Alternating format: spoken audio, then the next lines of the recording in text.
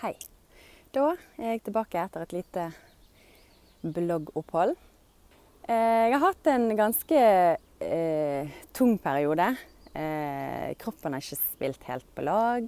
Eh, knærne har vært litt sånn trøblete. Eh, jeg har hatt lite energi. Det er pollensesong, og jeg kjenner det. Eh, det som er forskjellig nå fra før, det er jo det at jeg har fortsatt likevel. Um, selv om det ikke har blitt så mye som jeg hadde håpt, så har jeg i hvert fall fortsatt. Og det er jeg ganske stolt av.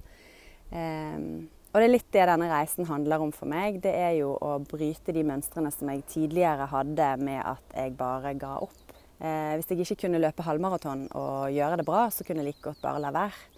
Det har jeg ikke lyst til å fortsette med. Så det har jeg lyst til å oppfordre dere andre som er der ute og tenker at